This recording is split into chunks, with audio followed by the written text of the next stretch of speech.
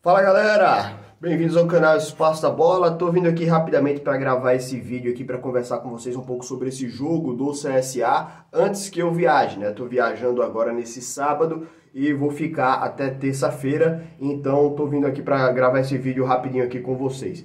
Agradeço aqui a presença de vocês no nosso canal. Convido todo mundo a se inscrever aqui no Espaço da Bola, que ainda não foi inscrito, e dar o like aqui para fortalecer, deixar nosso vídeo em alta e a gente seguir crescendo aqui dentro do YouTube. Beleza, meus amigos?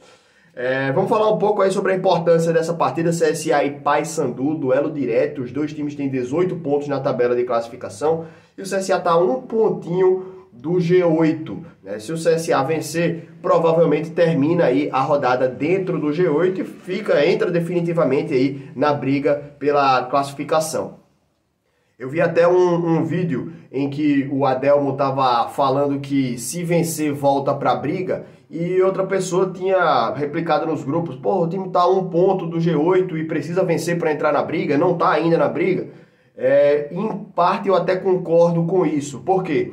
Se o CSA empata, possivelmente outros adversários vão vencer suas partidas e o CSA se distancia um pouco. Né? E vão faltar apenas cinco jogos depois desse. Então, se distanciar agora acaba complicando a situação. Então, é um jogo em que o CSA precisa aí do resultado, precisa vencer. Né? Todos os jogos o CSA precisa entrar em campo pensando na vitória. Né? Ainda mais esse jogo contra o Paysandu, que é um duelo direto.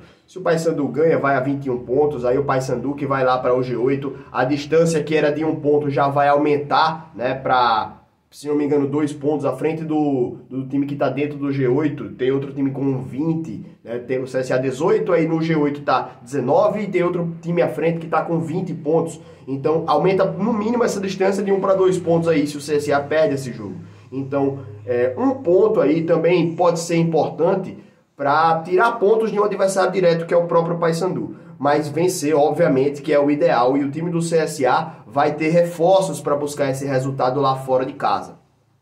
O time da gente é, tem a chegada agora do Júnior Todinho, atacante que veio do ABC na Série B, né, e que, na minha opinião, vai ser um bom reforço.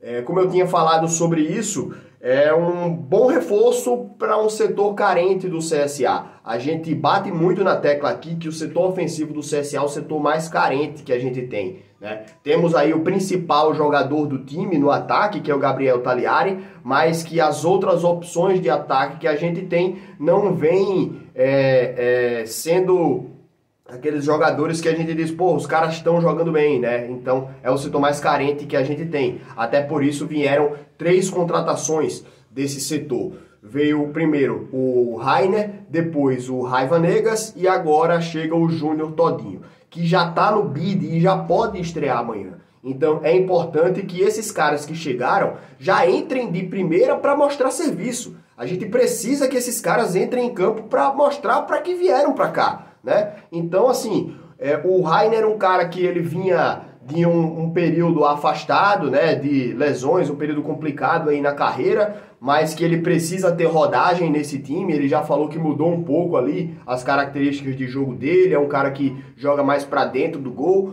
O Raiva Negas chegou aí bem badalado pela torcida, né, jogando fora do país depois de uma temporada que é, deixou boas impressões na torcida do esporte.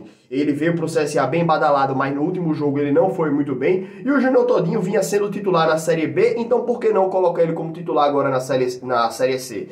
Não acho que vai acontecer agora com ele, mas que naturalmente ele vai ganhar minutos. Dependendo da necessidade, pode até entrar no segundo tempo para ver se ele consegue mudar alguma coisa aí no jogo do CSA. Mas a gente começa a, a, Começa é foda, né? Porque faltam aí seis jogos e a gente começa a ver o time se encorpando agora. É complicado. Faltam seis jogos para acabar essa primeira fase e depois dessa fase, se a gente se classificar, são mais seis no quadrangular final. Então esses caras aí chegaram com uma grande responsabilidade de colocar o time no G8, né? Não sei como é que tá aí a, a situação do contratual dos caras, quanto tempo de contrato foi que eles, eles assinaram, mas é, a gente é, tem aí naturalmente reforços e eu acho que esses caras aí precisam jogar. O Maciel entrou e foi muito bem na última partida, O Raiva Negas, apesar de não ter jogado bem, eu acho que ele pode dar uma sequência melhor. Eu acho também o próprio é, é, Júnior Todinho, que está bem fisicamente, ele pode entrar de titular nesse jogo aí, mas eu colocaria, dava rodagem para os caras, eu botaria os caras para jogar. Né? Naturalmente, como eu venho falando, o Thomas Bastos, pelos números dele, é um cara que não tem condições de tirar ele do time titular, né? É, talvez o Raiva Negas possa voltar a ser titular, o Rainer iniciar o jogo e ao longo do tempo testar o Júnior todinho também para ver como é que o time fica. Talvez até jogar o Rainer pro meio no lugar do Thomas Bastos e abrir também o, o Júnior todinho ou colocar outros jogadores. Mas esses caras que chegaram, eles precisam mostrar serviço e precisam jogar, certo? Então é, é o momento agora de, de dar rodagem aí pros caras para a gente tentar ir para cima do Paysandu para conquistar esse resultado que vai ser muito importante para a sequência da gente, tá certo? Então, galera, muito obrigado aí pela presença de todos. Tô me arrumando aqui as coisas pra gente viajar. E eu quero agradecer aí a presença de todos vocês. Amanhã eu vou acompanhar o jogo aí de alguma forma, pelo celular ou sei lá, mas é, vou tentar acompanhar aí o, o jogo para falar alguma coisa aí para vocês, beleza? Mas estou viajando aqui em lua de mel e tal, então não vai ter pro, aquela programação que, que a gente tá acostumado a fazer, beleza? Agradeço aí a presença de todos vocês mais uma vez, galera. Tamo junto, beijo, grande abraço e até amanhã, galera. Valeu!